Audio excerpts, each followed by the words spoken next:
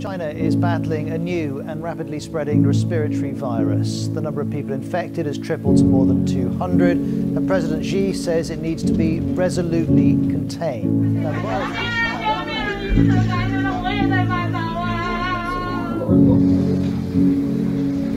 This is just crazy.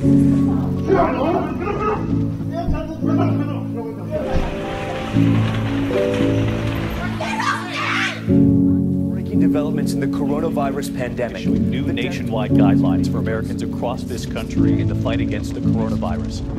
Fear not, for I am with you. Be not dismayed, for I am your God.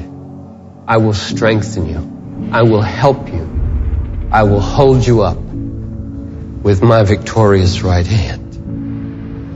As residents rode out the storm, some in shelters, That others is, in after all, what they did before they set up their so-called caliphate in God is calling all of you to not be afraid.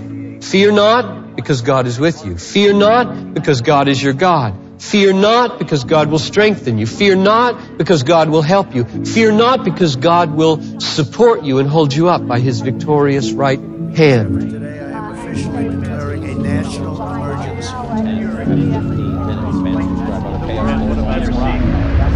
I am your God. That is, I am above you. I am over you with my mighty hand. Over. I am with you.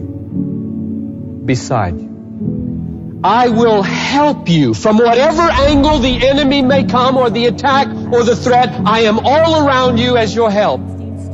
I will strengthen you from inside out. I will be your strength and I will uphold you from underneath you.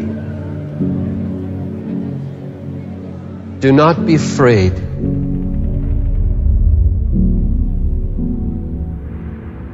And there is one great ground for fearlessness. God.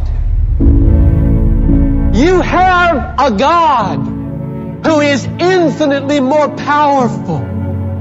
He is God. He is God. Do you believe Him? Do not be afraid.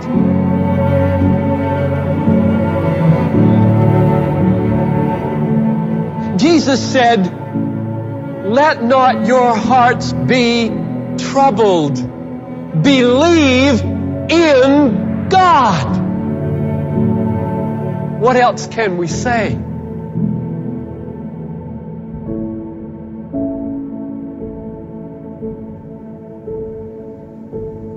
Fear not, for I am with you. Be not dismayed, for I am your God.